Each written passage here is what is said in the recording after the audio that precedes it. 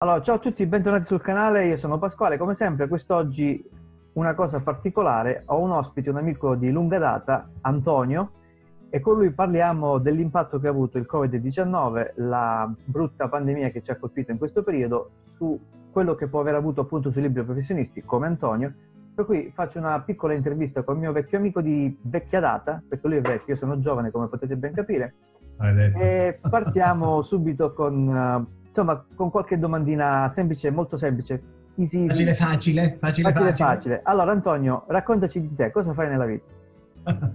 ciao, ciao a tutti. Io faccio il fotografo e il videomaker. E mi occupo di seguire tante aziende, sono un libero professionista, come hai detto tu.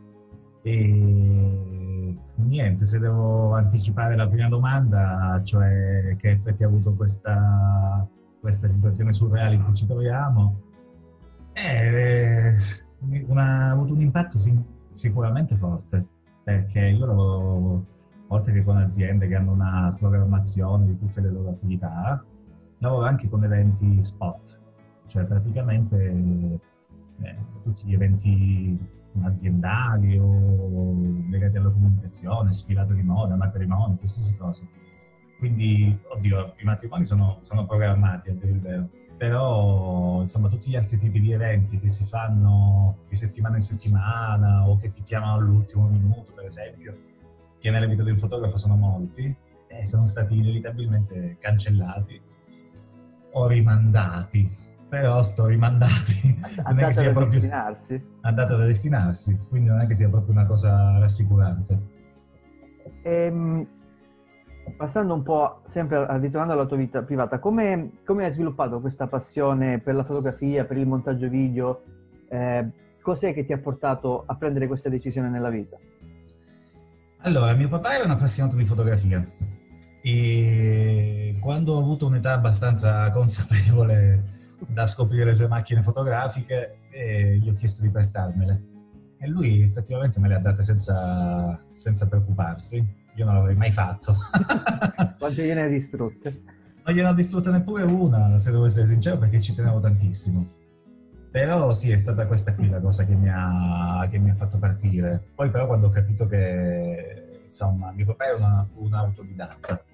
Quando ho capito che, insomma, se volevo fare qualcosa di più, dovevo studiare tutta la cosa, ho deciso di iscrivermi a una scuola di grafica pubblicitaria alle scuole superiori Uh-huh. E poi in seguito, dopo questo, per approfondire proprio il discorso delle produzioni video, mi sono iscritto a un'università, ho frequentato un corso al DAMS, e SOS.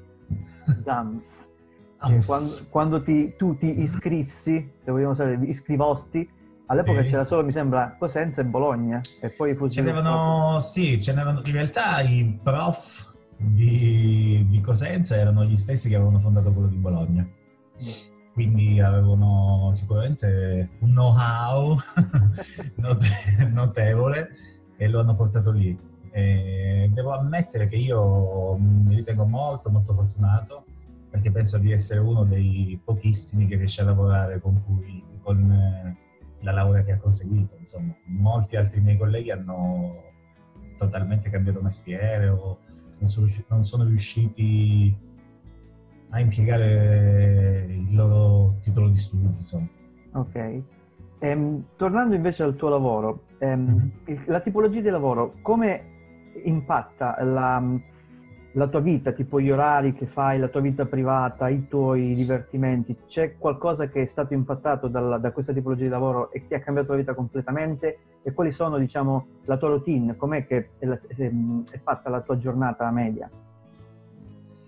Allora, la mia routine non esiste, come quella di nessuno, di nessun fotografo, nessun videomaker, a meno che non lavori presso una struttura come una televisione, dove si hanno effettivamente delle, dei, dei processi produttivi schedulati e diciamo molto molto precisi.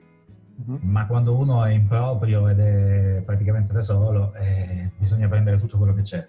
Quindi ci sono delle giornate full, ma full veramente, in cui si parte, si parte a una certa ora e non sai quando finisci. Quindi questa qui è una cosa che ho... Cioè a me non disturba, se devo essere sincero. Aspetta, ogni tanto sì, ma la maggior parte delle volte è quello che ho scelto di fare, quindi non, non mi pesa. Quindi non è un lavoro, è più un portare avanti una passione, più che un lavoro vero e proprio. Questa è una domanda da un milione di dollari. ecco, se ce l'hai mi fai un versamento. in titoli come ti devo pagare dato che tu Quello sei che vuoi tutto... obbligazioni azioni pepite d'oro. Pepite d'oro sì. No allora io non ho una vera routine. Io ho un metodo di lavoro che è basato sul fatto di non te lo so neppure descrivere. Cioè ci sono dei periodi in cui arrivano dei lavori totalmente inaspettati uh-huh. totalmente inaspettati e quindi bisogna prenderli, cercare di farli al meglio e prima possibile, che è molto difficile. per l'organizzazione dei... gioca un ruolo fondamentale in questo tipo di lavoro, immagino.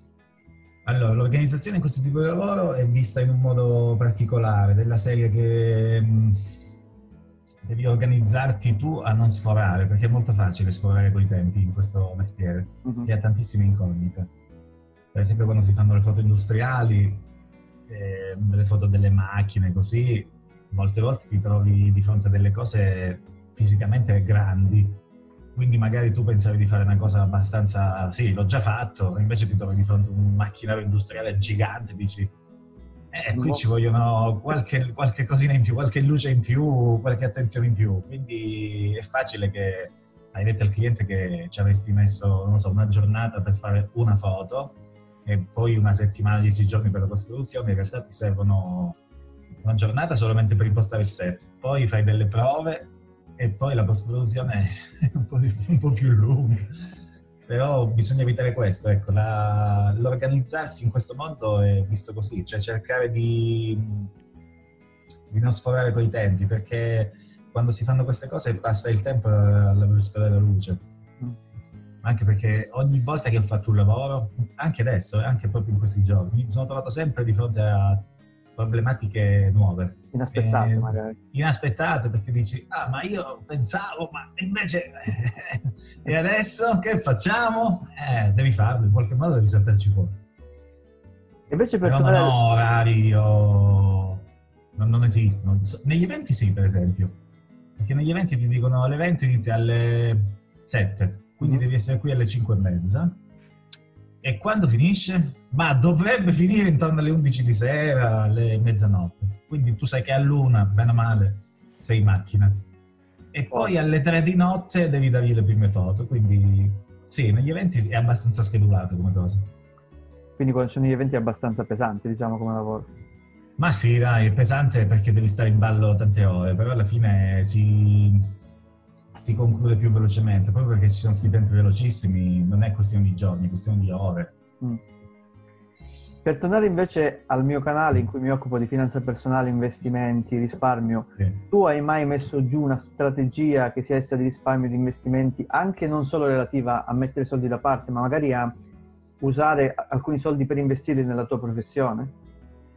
Guarda, io non, non l'ho mai messo, non, non, ci ho mai pensato attivamente nella serie rivolgermi a qualcuno. È un periodo, ti dico la verità, che ho quattro soldi conservati, mezza pepita d'oro, non di più. 30 denari.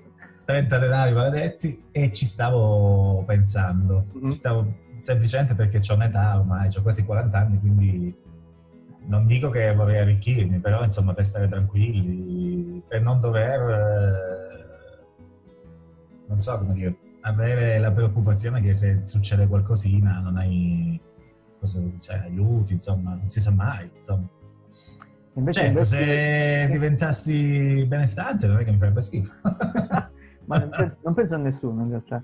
E invece investire proprio nel tuo lavoro, cioè in attrezzature, in um, corsi di formazione, investi in questo senso? Quello si fa continuamente, perché una volta i fotografi erano quelli là proprio che potevano permettersi l'attrezzatura, quindi su 100 fotografi che c'erano, magari 80 erano non bravissimi, proprio perché magari avevano soltanto i soldi per comprarsi l'attrezzatura, ma non avevano una scuola o una formazione minimamente adeguata. Quindi lavoravano comunque, mm. lavoravano comunque a, a tutta forza, anche perché appunto erano pochi, che una volta per farti capire, no? l'attrezzatura che ho io, ho quattro macchine fotografiche, delle luci, eh, delle cose, delle produzioni medio-piccole, che comunque mi consentono di vivere. E una volta comprare queste cose avrebbe voluto dire spendere 100-150 milioni di lire. Mm-hmm. E ce l'avevano in pochi questi soldi. O magari, non lo so, comprarti solo un paio di macchine fotografiche e farti uno studio avrebbe voluto dire una spesa sui 50 milioni di lire.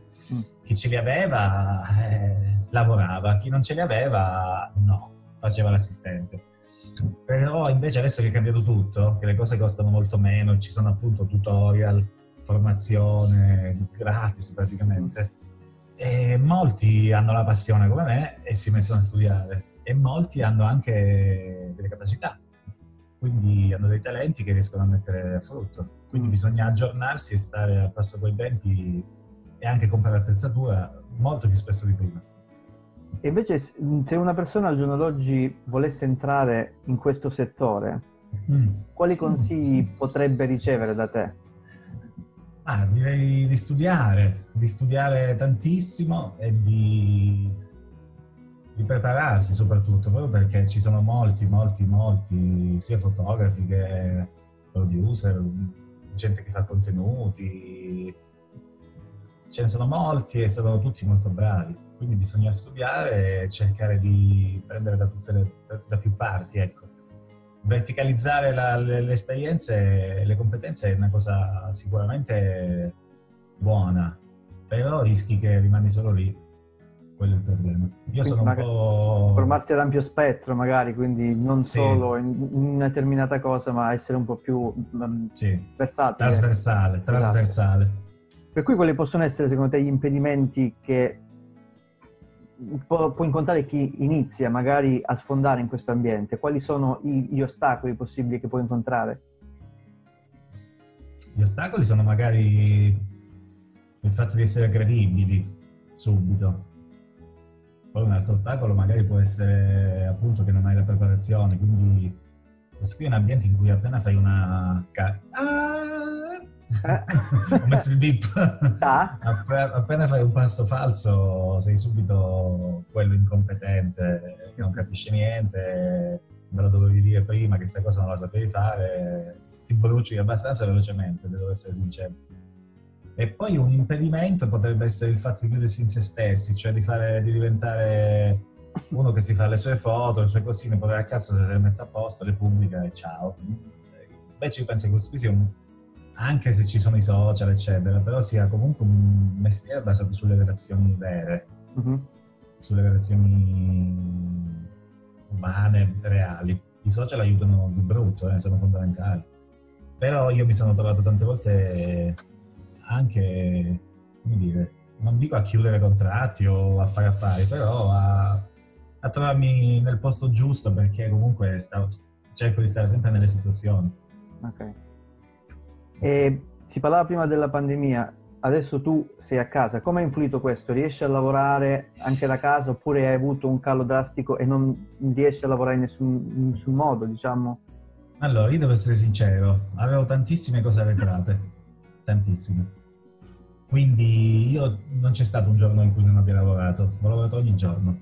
Chiaramente ho lavorato non per lo stesso orario di prima, cioè lavoro abbastanza con, in modo, come si dice, anacquato, dilatato nel tempo, lavoro con più calma.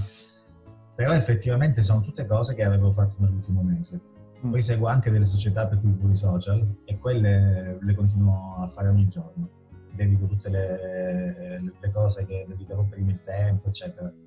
Cioè io sto al computer 8-10 ore al giorno come prima, però devo ammettere che se non avessi avuto questi lavoretti di, che ho fatto prima e dovevo mettere a posto, le mie giornate sarebbero molto più piene di roba. sì, perché cose nuove, giustamente. C'è qualcuno che mi ha chiamato e mi ha detto: Avevi un'idea di fare una cosa così? Io ho detto sì, eh, però se, non si sa in realtà quando guagliamo, non, non lo può sapere nessuno.